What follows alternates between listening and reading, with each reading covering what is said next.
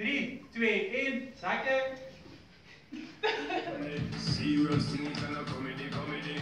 And them say you want the comedy, comedy. Wat we hier aan het doen zijn vandaag is eh, dat we de casting houden voor Miss Beauty of Zeeland en Miss Teen of Zeeland. En het is een bijzondere dag vandaag, omdat het eigenlijk de eerste casting is op Zeeuwse bodem.